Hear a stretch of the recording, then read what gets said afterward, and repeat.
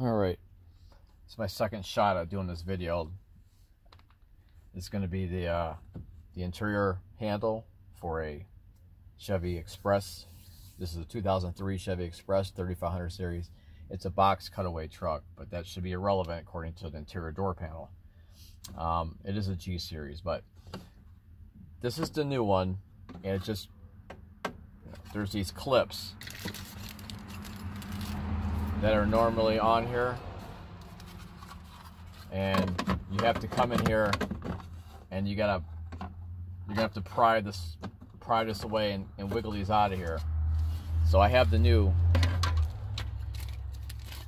the new door handle. So I'm gonna do I'm gonna put these clips on first because the last video uh, I'm trying to get this thing on here and I'm like it won't go on. Like five minutes I'm pushing hitting and I'm like oh the clips so these clips have to go on. They just they just push in. They come in a bag. These handles, um, I think they were like 30 bucks, 35 bucks a piece. Um, I use eBay more than Amazon just because of my delivery history as a UPS driver, employee, whatever. So I still do a lot of my mechanic work. I'm going to do a lot more now as my freedom job, work for myself. So I figured every little thing I do mechanic-wise, I'm going to try to do a detailed, unedited, live, as much realistic as I can videos. So when you get these new ones, they're going to come like this. And the reason they don't put the clips on is so that they don't ship them like this and they get stuck in there and they break when people take these apart. So let's remove the first, the original. Was, this is how it was when I bought the truck. The other side, I wish I would have kept, I wish I would have messed up that video. But um, that other side was pretty jacked up. So I'm using my power screw gun. Take these out. There's uh, two different size screws here. That's a nice day out. First day of spring, 2021. March 21st or today's the 22nd. I don't even know. It's been really hectic stuff going on. Uh, this one stays. That's for the door. Nope. No, this one's got to come out. And then these screws come out.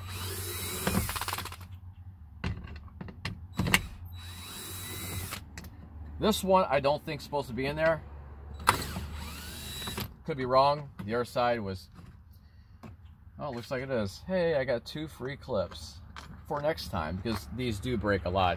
Anyone who has these vans know these break. Um, along with the door hinge.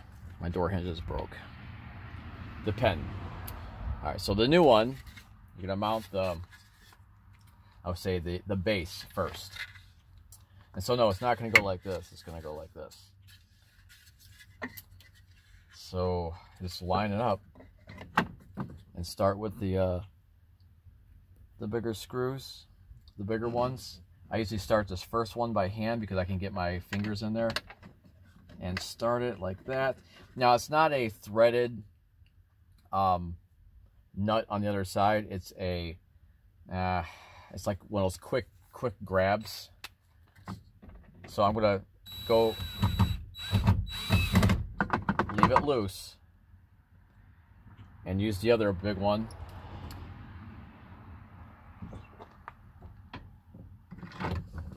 Go slow. Make sure it catches. Leave it loose. And you're to run all the little ones in. The little the little ones.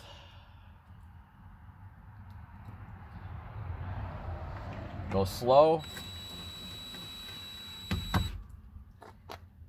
And then there's three on this side.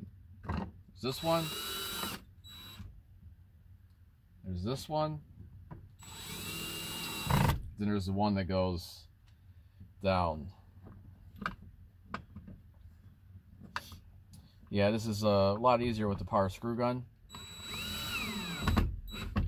Now I'm going to change the screw head to the uh, more flat style so it grips these bigger ones. Now I'm going to crank these down, but not too tight because this will break. So I'm going to do my gun, and now I'm just going to use the gun and turn it. Same with this big one here. Bring it in, and we use the gun to turn. I'm not not using the power, um, the trigger. Keep these tight, not too tight, especially where I am. It's hot and cold, hot and cold. Now the little ones, bring those in. Bring them in, just snug them. And this one. Now I'm gonna do the same thing. This one I'm gonna use just the gun. No trigger. Make sure it's tight, because these will crack. And you'll be all upset. This guy on YouTube, look, I'm telling you. Snug them. You can always go back and tighten them. This is tight. Now, this part. This is the most common part to break is this on these. They snap off right here because you yank the doors. You're trying to, it's because of these door hinges. But, so you can make sure you got your clips pushed in. You line them up. I usually like to put a little pressure on the handle. I usually start with the little, the, the single one right here. Make sure it's lined up. A little push or tap. Grab my other hand and use my free hand to just, just don't tight, too tight because you'll get your finger, you'll get your skin pinched in here. So there's a little pressure and just kind of push in, or push in. Let's see, this one doesn't want to line up that good.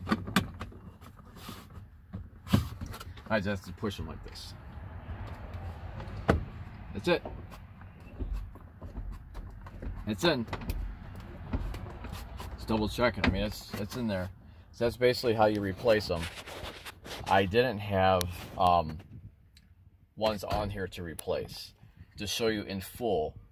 But if you replace them, you could literally just break them off. Just wear gloves so you don't get cut and safety glasses in case piece breaks off.